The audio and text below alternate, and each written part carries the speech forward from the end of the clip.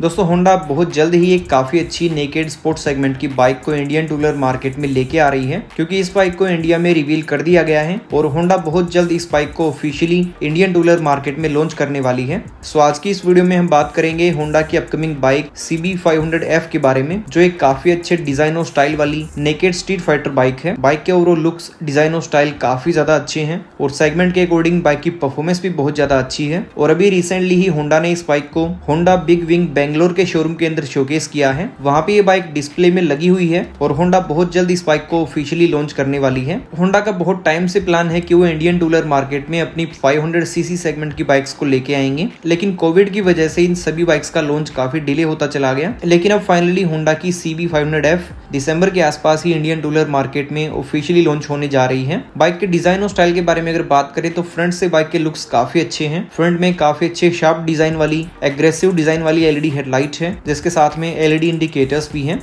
सो bike में all LED lights का setup दिया गया है और एक काफ़ी अच्छा fully digital LCD instrument console भी है, जिसके अंदर सारे फीचर्स फुली डिजिटल हैं। बाइक के टैंक श्राउड्स का डिज़ाइन साइड पैनल्स का डिज़ाइन काफ़ी अच्छा है। बाइक देखने में काफ़ी बल्कि लगती है और सेगमेंट के अकॉर्डिंग ये बाइक काफ़ी अच्छी, एक एंट्री लेवल की सुपर बाइक है। इंटरनेशनल टूलर मार्केट में इस बाइक के कलर्स भी काफ़ी अच्छे हैं। बाइक के फ्रंट लुक साइड प्रोफ़ाइल और रियर प्रोफ़ाइल भी देखने में काफ़ी ज़्यादा अच्छी है। बाइक के एलईडी टेल लाइट का डिज़ाइन भी काफ़ी अच्छा है।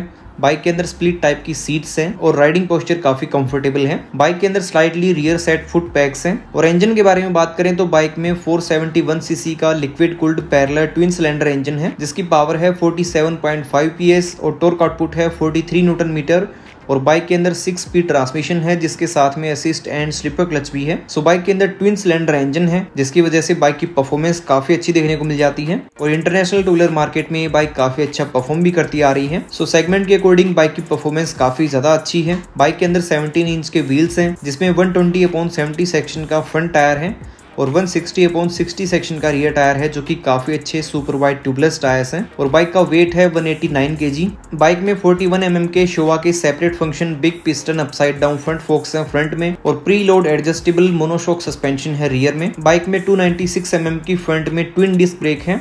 यानी कि फ्रंट में बाइक के अंदर डुअल डिस्क ब्रेक है। पहले जो इस बाइक का ओल्ड मॉडल आता था, उसके अंदर फ्रंट में सिंगल डिस्क ब्रेक थी, लेकिन जो इस बाइक का 2022 मॉडल इंटरनेशनल टूलर मार्केट में है, उसके अंदर फ्रंट में डुअल डिस्क ब्रेक है, रियर में सिंगल डिस्क ब्रेक है जिसके साथ में स्टैंडर्ड डुअल चैनल एबीएस भी है। और बाइक के एग्जॉस्ट सिस्टम का डिज़ाइन भी काफ़ी अच्छा है, काफ़ी बल्कि लुकिंग एग्जॉस्ट सिस्टम है। लेकिन बाइक की पिलियन सीट उतनी ज़्यादा कंफर्टेबल नहीं है। लेकिन बाइक के ओवरऑल लुक्स डिज़ाइन और स्टाइल काफ़ी ज़्यादा अच्छे हैं। और अभी जो पिक्चर्स आप अपनी स्क्रीन पे देख पा रहे हो, ये होंडा की बिग विंग बेंगलोर के शोरूम की पिक्चर्स है, जहाँ पे अभी ये बाइक डिस्प्ले पे लगी हुई है। सो होंडा बहुत जल्द इस बाइक को दिसंबर में ही मार्केट में लेके आ रही है, जिसका एक शोरूम प्राइस पाँच लाख रुपए के आसपास देखने को मिलेगा। सो so, दोस्तों, ये थी सारी अपडेट होंडा की अपकमिंग बाइक सी बी के बारे में।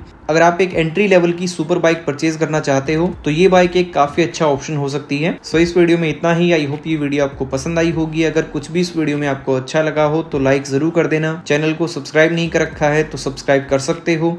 मिलते हैं अगली वीडियो में। Till then ride safe drive safe